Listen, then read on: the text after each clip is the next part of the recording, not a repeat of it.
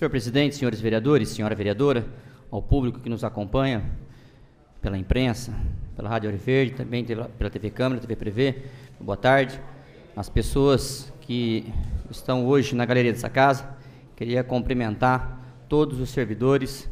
Nós temos aqui servidores da Rede Municipal de Saúde, dentistas, eh, também os servidores da Unesp, da USP, também, não, sei se tem alguém da Unicamp, mas enfim, quero cumprimentá-los e falar que essa casa está à disposição de vocês.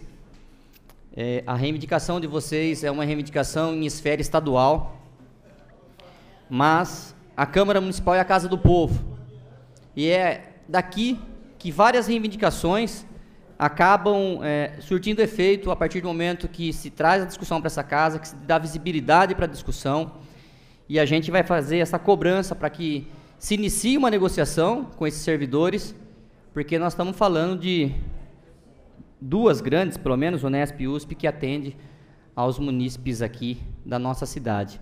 E me deixa muito triste saber a situação que vocês estão passando, porque recentemente nós tivemos uma audiência pública aqui tratando do assunto dos professores da rede estadual de educação. E não é muito diferente da situação de vocês. Então, a gente fica muito triste de saber como o governo tem tratado os servidores, tanto da rede estadual e agora com vocês das universidades. Né? Nós temos também é, casos de fechamentos de escolas estaduais no período noturno na nossa cidade, cito aqui a da Cariano no Meridota. Enfim, a gente vê cada vez mais uma falta de interesse muito grande do nosso governo para a valorização dos profissionais da rede de educação. E isso é muito triste porque tudo que a gente vai falar, tratar na nossa, na nossa vida, se diz a educação. Sem educação, nós jamais teremos um país digno, principalmente para eleger aí os seus representantes. E mais uma vez estamos em ano político e a gente espera que os melhores sejam, sejam escolhidos para que a gente não tenha, que esse problema continue aí por outros anos. Então, conte com o apoio dessa casa, conte com a visibilidade que essa casa pode dar para a luta de vocês e o que, o que tiver no nosso alcance, é, a gente estará à disposição. Gostaria de começar o meu assunto de hoje, senhor presidente, pedindo para a TV Câmara exibir um vídeo. Nós tivemos no Jardim Nicéia para falar de um problema que tem acontecido naquela, naquele bairro lá, que a gente vem aqui fazer um apelo aos senhores secretários municipais que pudessem olhar com carinho para aquele bairro para as demandas daquele bairro. Então, por gentileza, eu, eu peço que a TV Câmara solte o vídeo, por favor.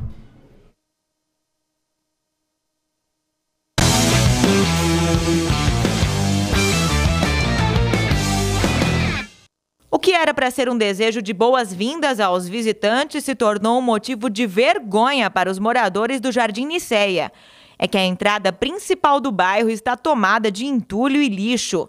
Os bolsões favorecem o aparecimento de ratos e insetos que transmitem doenças e serve de esconderijo para malandros.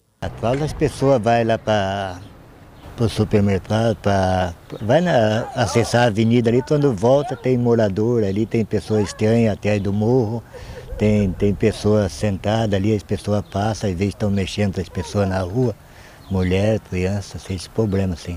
Além da sujeira, sujeira que vai amontando, a pessoa vê já está suja, vem pondo mais lixo. Então nós precisava que todos as, as equipes participantes aí, os Secretaria de Obra, a SEMA, todos os outros viessem tudo junto e fizessem um trabalho.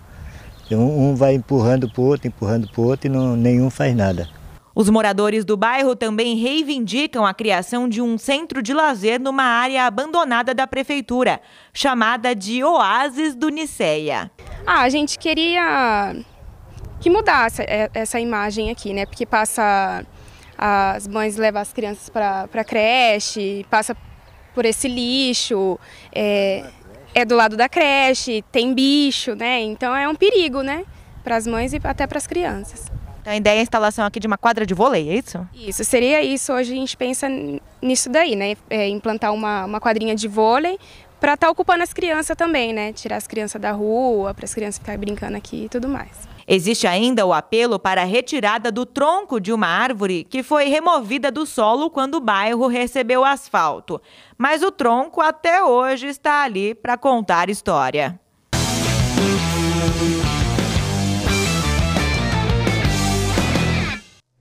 Senhor presidente, eu queria falar que o bairro Jardim de Séia recentemente recebeu uma praça muito bonita lá no bairro, uma quadra também, que foi uma parceria público-privada e que é um dos poucos bairros que fazem a manutenção, cuidam dessa praça, fazem a limpeza, é, cuidam dos equipamentos públicos que foram instalados ali e que é muito importante que as secretarias municipais, olha, é, municipais olhassem com carinhos, né?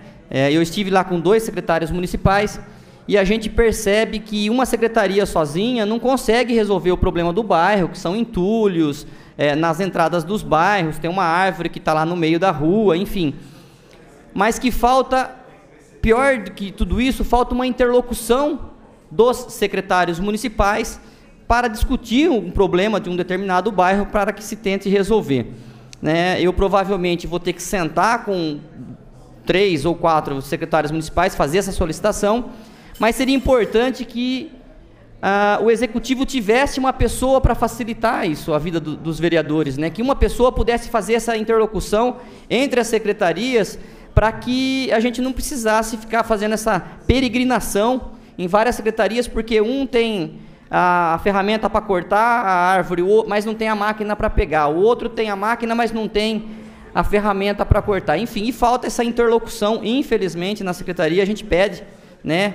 É, para que se estudasse a possibilidade de ter uma pessoa que facilitasse a nossa vida. A gente entende é, todas as dificuldades, o orçamento apertado das secretarias, a falta de pessoal, a gente entende todas as dificuldades, mas realmente tem coisas que vai passando e a gente percebe que se tivesse uma interlocução melhor entre os secretários municipais, talvez nós teríamos mais conquistas e poderia, poderia melhorar um pouquinho a vida dessas pessoas, que eles estão ali pedindo é um pouquinho de dignidade. Já mora num local que é considerado favela, eu prefiro chamar de comunidade, graças a Deus recebeu bastante melhorias, algum asfalto que chegou em algumas ruas, mas as pessoas pedem dignidade, para que possa receber uma visita na sua casa e não ter vergonha do, da sua visita que está aí na sua casa, passar por um bolsão de entulho para entrar até o seu bairro.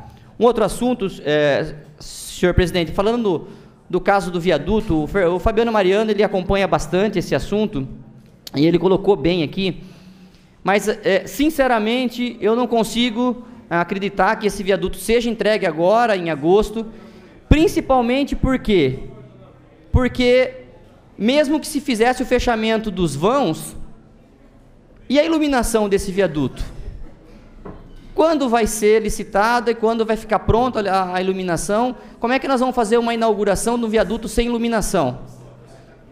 Só para entregar no aniversário da cidade? Eu não sei se é o melhor caminho. Eu acho que já está nessa situação, não tem verba, está aí escancarado que o problema está em repasses federais.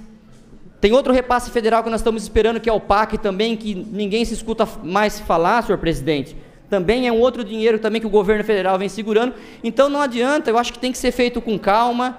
É, eu acho que a gente pede, eu acredito que a imprensa também vai ter essa sensibilidade e compreensão. Falta verbas federais e para que se faça com planejamento. O que não pode acontecer é como aconteceu recentemente, que se plantou grama numa parte, no, numa falta de planejamento e agora retirar a grama, porque não podia ter plantado ainda, por exemplo. Estou citando um item. Então, acho que tem que ter calma, tem que ter cautela, tem que se fazer um, um projeto de iluminação, tem que se instalar essa iluminação, para depois, vereador Sakai, fazer a inauguração. Para quem esperou todos esses anos, inaugurar agora, só porque é o aniversário da cidade, eu acho que não é a melhor estratégia, a melhor saída. Eu acho que tem que ser feito com planejamento, presidente, para que não aconteça é, casos de fazer e depois desfazer, porque aquilo não podia ter feito naquele momento. Então, fica aqui a minha colocação para que seja feita da melhor maneira possível, que Bauru merece que esse viaduto seja inaugurado, mas que seja inaugurado dentro de todos os parâmetros que realmente a cidade merece. Por hoje é só, senhor presidente. Muito obrigado.